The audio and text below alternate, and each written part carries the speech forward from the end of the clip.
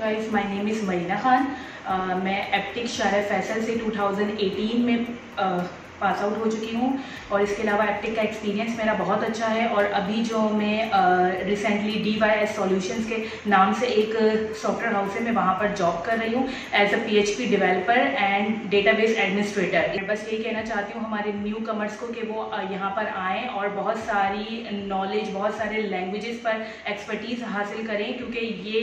ये नॉलेजेस जो है वो एप्टिक के अलावा मुझे नहीं लगता कि कोई और इंस्टीट्यूट दे पा रहा है इस वक्त।